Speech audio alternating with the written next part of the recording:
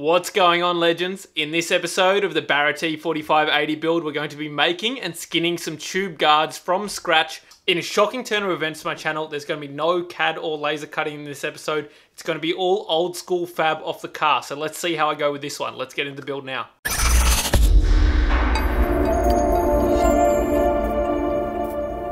Down here at LCS 4x4 today, and Lawrence is kindly helping me out with some guards. So these are honestly like quite hard to make, and I'm really ha- glad I've got Lawrence helping me out. So we're using his bender. Um, this is sort of what they're going to look like, and I just don't have the the skills to do it by myself at home. So yeah, I'm I'm super glad I've got Lawrence behind me, and a huge huge shout out to him. Got a few sets, so we've got them all marked out and bent up. So I'm learning how to uh, to use the bender properly today. Should be a good day.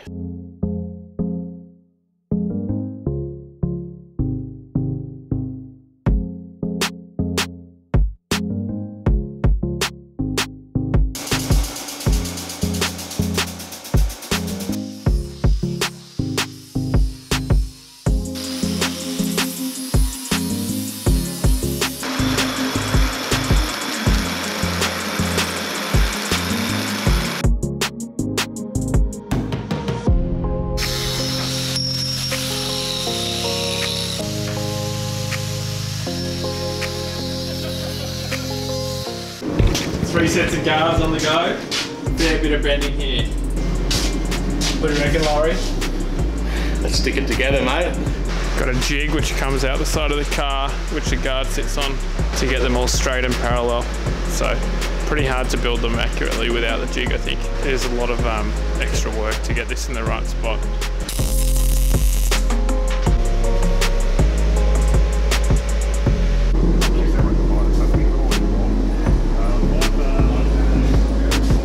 Three sets here, and this is my sets. I've got to take them home and fit them up to the car now.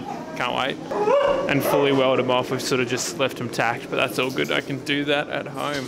Remember how I told you there was no CAD or laser cutting in this episode? That's a lie. I actually got these laser cuts. So these are chassis mount plates. This is the outer, so it's a clearance hole for an M14, and that's the inner, which is an M14 by 2. This one's welded to the chassis, this one's welded to the guards. I've also got a triangle design as well, which you'll see later in the episode. So I didn't actually get it on film, but I installed the front guards, and I wasn't really happy with the position and I should have done the rear ones first. So now I'm going back to do the rear ones. After the rears are done, I've got a really good reference and I'll come back and do the front ones again.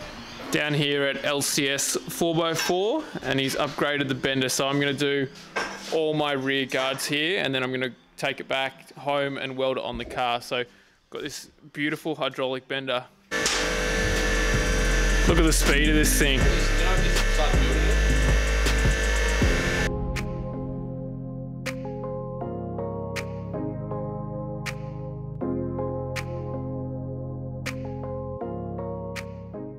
Onto the rear guards today. So we're planning on taking off the wheels, marking the center line of the tray where the guard should sit, and then I'm going to weld off a little jig so that I'm going to get my guards at exactly 1900 mil outer outer.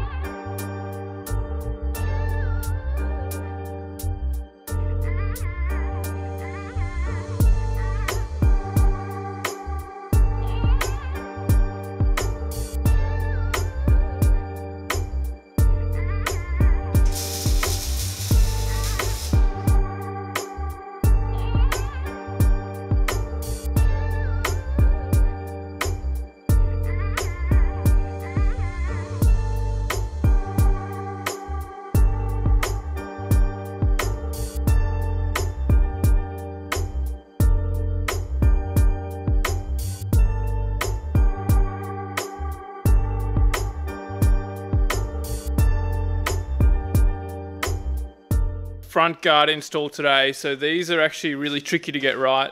Got my mate Max here helping me, and I think this is definitely a two-person job.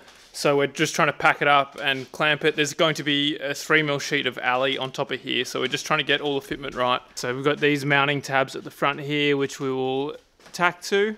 And then we've got these plates here at the rear as well. So we've got four M14s in total at the rear, two at the front. Get window packers, people. This job would be almost impossible without them.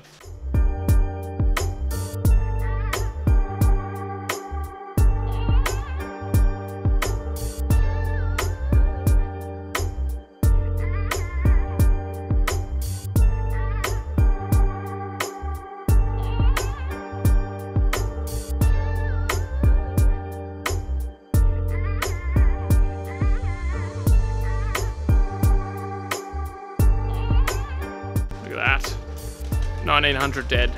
An absolute novice at the MIG welding game, so there's a fair bit of cleaning we have to do to these.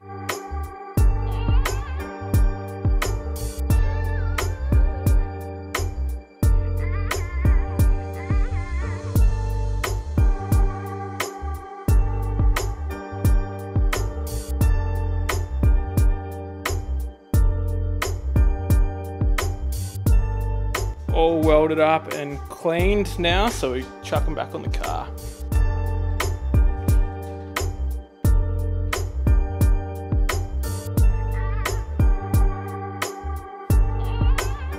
So the guard design, I guess, yeah, the reason why I, one of the reasons why I really wanted to go steel tray is so I could integrate the guard design into the steel tray.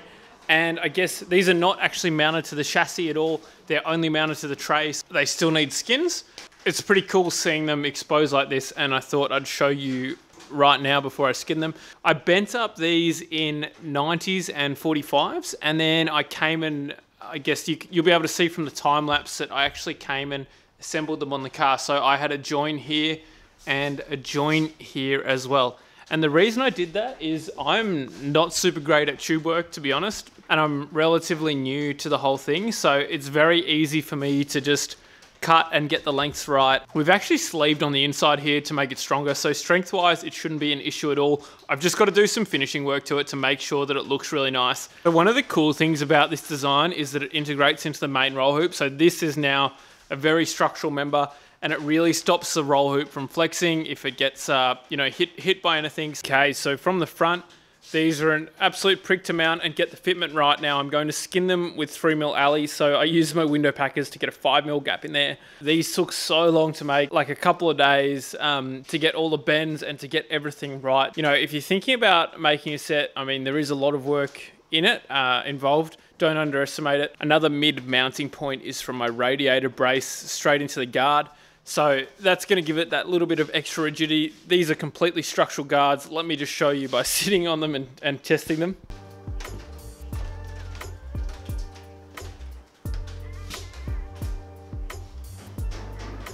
Also extremely solid, so I've effectively got external scrub rails as my guards, which is really cool because it means that I don't need another piece of steel as a scrub rail. So these were so hard to get right and get them in parallel. I mean, my ground's not level, the car's not level, there's nothing to go off. So a lot of it's sort of string line and eye and just packing with those window packers. Another cool thing is, you know, the, the guards come out to 1900. I guess the 80 series chassis is a lot wider than the 45 series chassis. The body sits nicely inside the guard. So I think the body is around 1650 wide. My tray is 1700 wide and then my guards come out an extra 100 mil on each side, bring it to 1900. You know, in the bush, it's really cool because my body is going to be protected by my guards. So you're going to put some sliders down there at some point. I've got to get around to designing and making them. But that, that might be after the car gets registered. I kind of want to just get it on the road and do some testing. First bonnet down shot in six months. I'm cherishing this moment. Hopefully there's going to be many more bonnet down shots and not too many bonnet up shots, but I'm sure there will be and that'll just add to the fun. I immensely enjoyed making these guards. I, as I said, I haven't he done a heap of tube work and it was really cool to get on the bender and sort of learn how to mm-hmm. do this stuff. I'm really thankful that I had Lawrence in my corner and my brother to help me out with the rear guards. And then I had my mate Max and George help me to mount the front ones. I honestly think this is a definitely a two person job. So if you if you're going to do something like that, make sure you are you got someone to help you out. That's the front and the rear guards mounted up now. I'm going to flip the tray over, weld it all off, and then skin the guards in aluminium.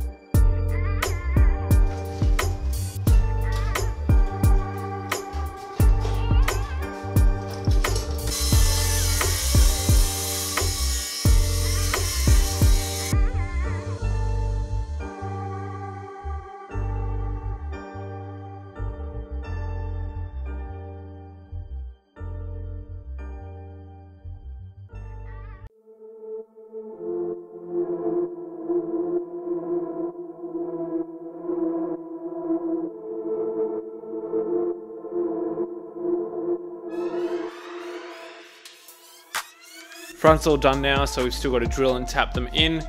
And we're just moving on to the rear, so we're just making the template out of more ram board, just figuring out whether to do these in one or two pieces. I think it would look cleaner in one, but it would definitely be easier in two.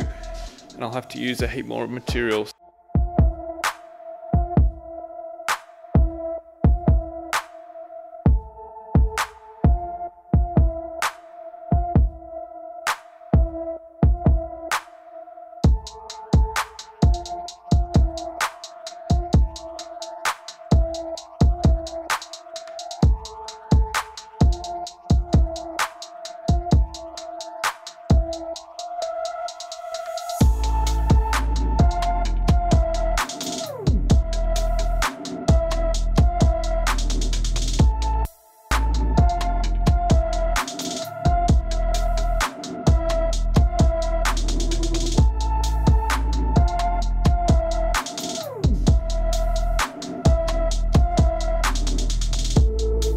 Just skin this guard and the other side as well. So the plan now is to drill and tap some M6s in there and then I'll use a peening hammer to roll the edge around and get a nice finish hopefully.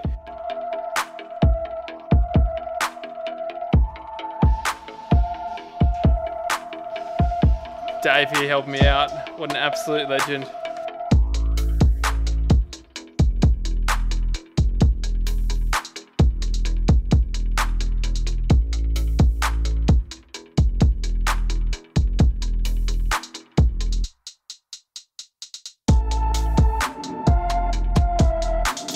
Driver's side all done now. I've still got to roll over the guard, so I'll just get onto the other side and then I'll do all the guard rolling at the same time.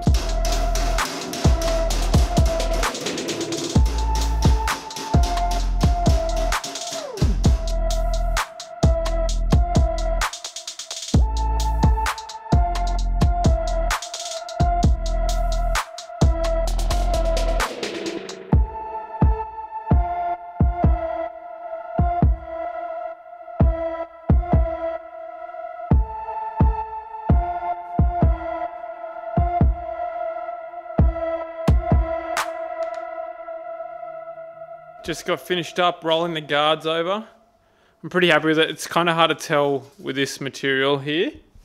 But I mean, have a look underneath it. It is relatively smooth. Sheet metal is by no means my forte. Uh, this is the first time I've done anything like this. So I'm really happy with the result. They're not perfect, but at the end of the day, this is a four-wheel drive and it's going to get scratched up anyway, and especially the guards. One of the beauties of skinning these in Ali means I can replace them pretty easily. I've still got the cardboard template, so I'll be able to do another cutout and uh, yeah, reskin them if need be. So I guess if you look at the fitment, um, they're not perfect under here, but the plan is to sink bolts through this the bottom of this panel, which will screw it down to the guard and make it much more solid. So we'll get around to that. At the back here, pretty much impossible to get the fitment right because you can see that the panel indents along here. So there is a gap there, but I could space it out with some rubber or something like that. And then at the, at the bottom, pretty much bang on. I'm using two millimeter aluminium to skin the guards and I've used a heap of bolts along here to, to screw them all down. So I am super happy with the result. So for guard skin material, It's either steel or alley. I went with alley because it's nice and light and it's not a super structural part. Obviously, there are going to be rocks and stones flicked up at it, but I can definitely just replace one of these guards. It's not a big deal. I was worried about going steel because I was afraid of it warping, and that's why I went the alley guard in the end. If it doesn't work out in alley, I can always just take off the alley and do a steel guard skin. It's not a big deal at all. So the front ones are going to be body color, and then the rear ones are going to be painted black. Plan on putting a two mil piece of alley in here as an inner guard. I haven't done it yet, but it's a good rainy day job. On the front, I'm going to do an inner guard as well. I'm just not quite sure what yet, so give me some time to think about it. So finally, my FJ is starting to look like an FJ. I'm so stoked.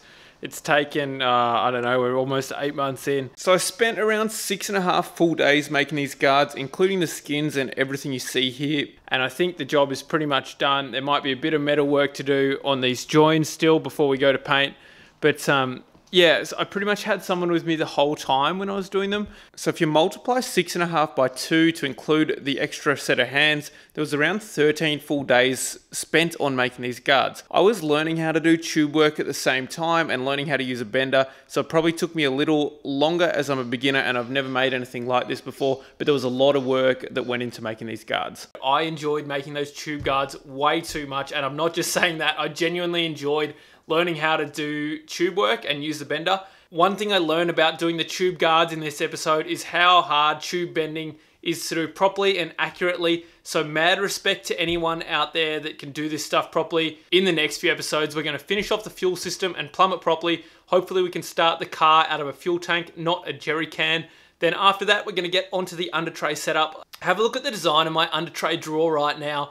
I've been designing it for the last few weeks in CAD. We've got sliders, we've got seals, we've got latches, we've got we've got the work. So get excited for that one. We'll bang a water tank in there as well. We're also going to be sending off the cab to get soda blasted and etch primed. Sorry to the patina lovers out there, but I'm painting this thing. Huge thank you to everyone that helped me out with these guards. There are so many people from the top got Lawrence, Max, Miles, George, Dave, my brother Alex, and my little cousin Evan. Thank you so much. There are so many man hours involved with these guards, and I literally could not have done it without you. I'd still be going, and this video would not be here without you. So thank you very much, guys. If you guys enjoyed that episode, don't forget to hit like and subscribe down there, and tune into the next episode of this build.